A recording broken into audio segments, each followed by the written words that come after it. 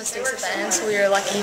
Not lucky, but it was good that we came out with a win. We played hard and we kind of had a refusal to lose. Uh, I think that um, is what helped us in the end win that game, but definitely a scary one. Hope to come out a little bit faster on Friday. So. Um, scary because it was tight the whole time, or scary because at the end they got a little dicey? It got a little dicey.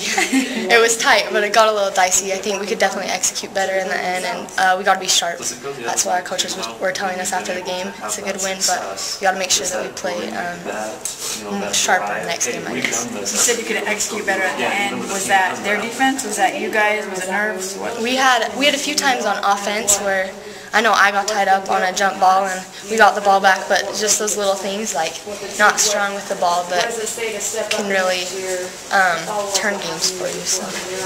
How tough was it to stand at that free throw line knowing that? uh, it was tough. Uh, I really trusted my teammates though. They were at the line a lot of times and this season there's been a few times where I've been at the line and I haven't been able to finish so that was my goal tonight was just to try to finish so did a little bit better at that but there's always room for improvement. So. You said you've had that experience where you haven't delivered. What does that feel like? Um, it stings. I, it's one of the worst feelings knowing that you could have um, changed the outcome of the game with a free throw so, or making them earlier in the game. We've had a few experiences with overtimes and that. So. Your coach talked about you having uh, been the only one that's really seen minutes in last year's tournament. Um, does the team look to you as far as leadership? I mean, coming down the stretch, like how you know it was really tight.